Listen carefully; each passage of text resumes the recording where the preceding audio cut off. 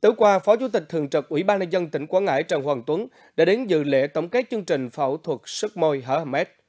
Chương trình do Ủy ban Mặt trận Tổ quốc Việt Nam tỉnh Quảng Ngãi phối hợp với tổ chức Operation Smile Việt Nam tổ chức.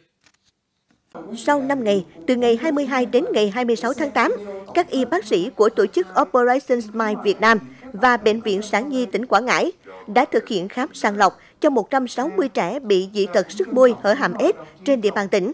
Trong đó có 88 trẻ đã được phẫu thuật thành công. Toàn bộ chi phí cho đợt khám phẫu thuật do tổ chức Operation Smile Việt Nam hỗ trợ. Gần 10 năm qua, tổ chức Operation Smile Việt Nam cùng với các tình nguyện viên là y bác sĩ trong nước và nước ngoài đã hỗ trợ khám cho khoảng 1.300 trẻ em bị sức môi hở hàm ếch của Quảng Ngãi. Trong đó, chỉ định phẫu thuật cho khoảng 800 em.